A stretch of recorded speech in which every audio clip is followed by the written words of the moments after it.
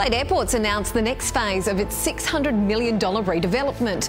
There's a massive problem unfolding at Adelaide Airport right now. And the only way to solve it is to deliberately destroy part of the terminal while thousands of passengers walk through it every single day. This is Project Flight, a $600 million surgical operation being performed on an airport that can't afford to stop for even a minute. And if the engineers get this wrong, one of Australia's busiest aviation hubs could grind to a halt. Let's talk about what's actually happening here, because this might be one of the ambitious construction projects in Australian aviation history.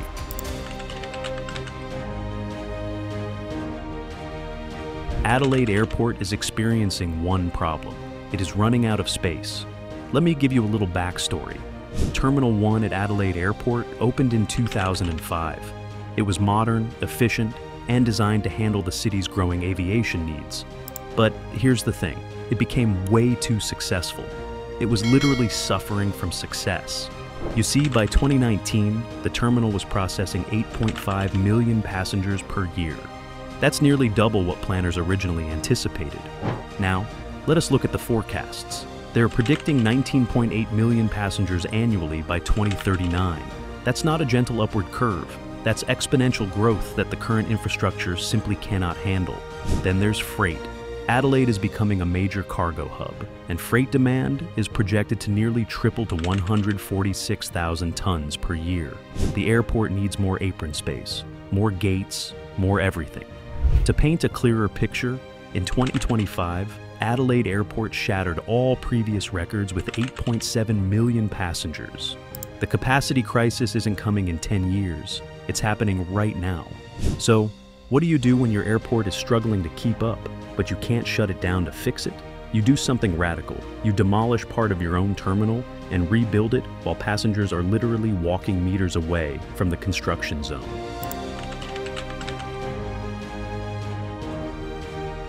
The first step in Project Flight is both dramatic and essential. Engineers need to demolish a key section of Terminal 1, specifically the elevated southern ramp. This is the drop-off road where cars have been pulling up for nearly 20 years. Why tear it down? Because it's directly in the way of what comes next. Underneath and around that ramp, Adelaide Airport is planning to build a massive 1,500 square meter expanded check-in hall. This expansion will increase check-in capacity by 25% and become home to dozens of new self-service kiosks and cutting-edge baggage technology. But here's the challenge. You can't just bring in a wrecking ball and hope operations continue uninterrupted. This demolition has to happen with caution. The terminal won't be shut down. It will still be operating. Passengers still checking in and flights still departing. One wrong move, say, one structural miscalculation, and you could compromise the entire operation. Imagine trying to renovate your house while your family is cooking dinner, watching TV, and sleeping in their beds. Now, multiply that complexity by a thousand. That's what building on a live airport feels like. Adelaide Airport handles tens of thousands of passengers every single day. There are planes taxiing, refueling, and boarding, and baggage carts zipping around. Not to forget the strict security protocols and airspace regulations. And now, right in the middle of all that, you plan to introduce thousands of construction workers, towering cranes, heavy machinery, and demolition equipment. This is where the real engineering comes into the picture. The margin for error has to be zero. If a crane interferes with aircraft movement, flights get delayed. If dust from demolition contaminates sensitive equipment, systems fail. If construction accidentally cuts a power line or data cable, the entire terminal could be affected. This isn't just about building something new. It's about building it in one of the most challenging environments, an active airport that cannot, under any circumstances, stop operating. So how do you manage this chaos? How do you coordinate thousands of workers, dozens of cranes, hundreds of deliveries, and complex demolition schedules without causing a single disruption? The answer to this is digital twin technology. Before a single shovel hit the ground, builder Hansen Yuncken and its joint venture partner, Watpac, created a full digital replica of Adelaide Airport. Not just a 3D model, which is basically a digital twin that simulates every aspect of the construction process in four dimensions. Three spatial dimensions, with the fourth dimension being time. This 4D construction planning maps out every single worker, every crane movement, every truck delivery, every concrete pour from 2025 all the way through to 2028. The purpose of this digital twin is simple. Zero clashes, zero interruptions, zero catastrophic mistakes.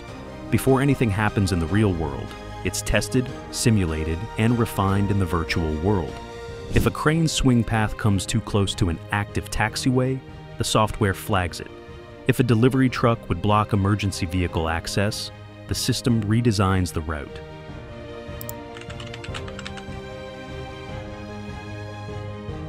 Here's the scale we're talking about. By the time Project Flight is complete, Adelaide Airport will have added 17,000 square meters of new terminal space. That's the equivalent of 2.5 full-size soccer fields added to a building that's already operating at maximum capacity. That's why this expansion isn't happening all at once. It's being rolled out in phases, each one designed to minimize disruption while maximizing the speed of construction. The northern expansion, scheduled for early 2026, will add 10,000 square meters of space. That's 1.5 soccer fields of brand new terminal area. This expansion will house new domestic lounges, additional jet bridges, and sleek modern glass architecture that brings Adelaide Airport into the next generation of aviation design. Then comes the southern expansion in early 2027, adding another 5,500 square meters. This section will include two new domestic gates and three regional gates capable of handling both large jets and smaller turboprop aircraft that board directly from the tarmac. But here's the really tricky part. All of this new terminal space has to integrate seamlessly with the existing structure. That means matching foundation depths, aligning electrical and HVAC systems, coordinating passenger flow, and ensuring that the old and new sections work together as one cohesive terminal. It's like architectural surgery, and it's happening while the patient is wide awake and walking around.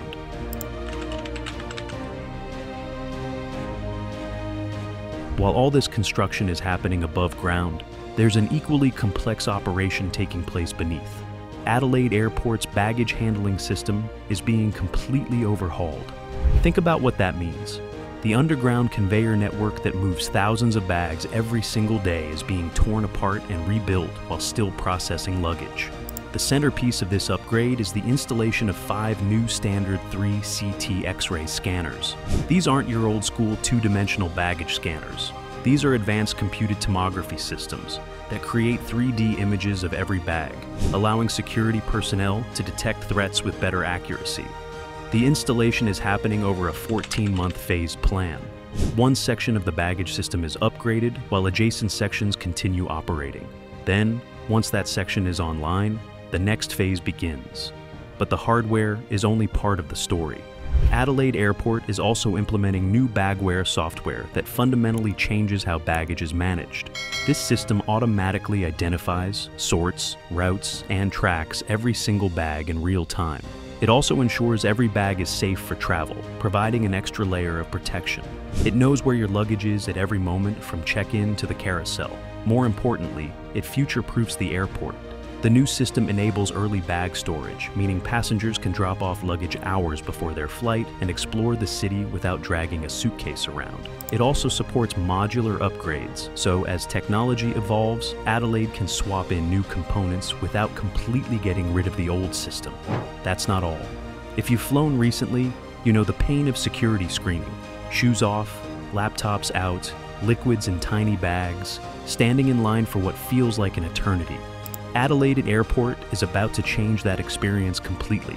By late 2025, passenger checkpoints will be upgraded with new 3D CT carry-on scanners and full-body scanners from Rapiscan and Smiths Detection. These are the same technologies being deployed at the world's most advanced airports. Here's what that means for passengers. You won't need to remove laptops or liquids from your bag. The 3D scanners can see through everything and identify threats automatically. The full-body scanners replace the old metal detectors and pat-downs with quick, non-invasive scans. The result? Wait times are expected to drop by approximately 50%. What used to take 15 or 20 minutes now takes 7 or 8.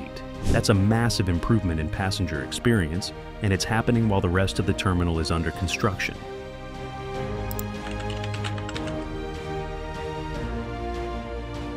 While terminal expansions grab headlines, there's another critical piece of infrastructure being built. Nine new aircraft aprons. An apron is essentially a parking lot for airplanes. But unlike a regular parking lot, an apron has to withstand absolutely extreme conditions. Modern aircraft can weigh over 500 tons fully loaded. They generate massive heat from their engines. And on a hot Australian summer day, asphalt would literally start to soften and deform under that weight. That's why Adelaide Airport is building these aprons with heavy-duty rigid concrete, designed by engineering firm Aurecon and constructed by Downer. The concrete is up to half a meter thick in some areas, strong enough to support the next generation of wide-body jets without cracking or sinking. These nine new aprons add critical long-term parking capacity. As Adelaide's passenger numbers climb toward 20 million annually, the airport will need every single one of these spaces to handle peak traffic periods.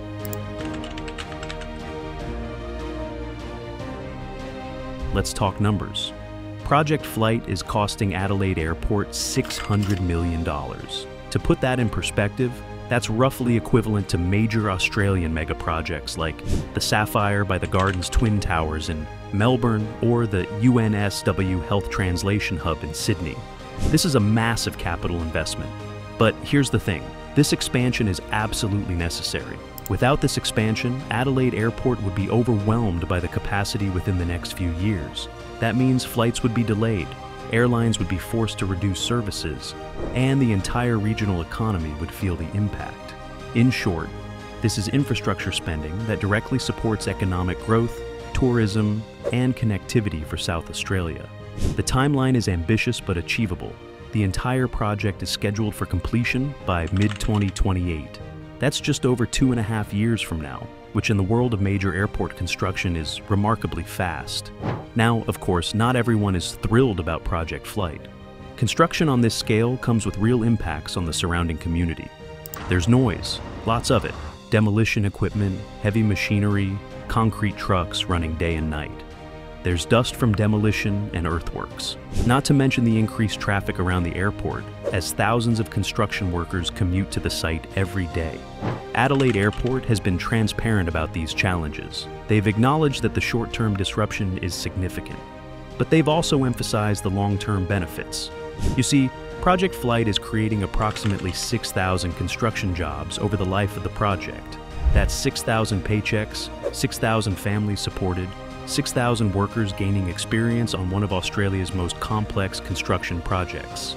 And beyond the immediate construction jobs, the expanded airport will support thousands more jobs in aviation, tourism, hospitality, and logistics for decades to come. And to show they care, the airport has implemented dust suppression systems, noise monitoring, and strict working hours to minimize impact on nearby residents. So that's Project Flight, why it matters, and it will be carried out. So, do you think the timeline is achievable? And do you support this expansion? Let us know in the comments.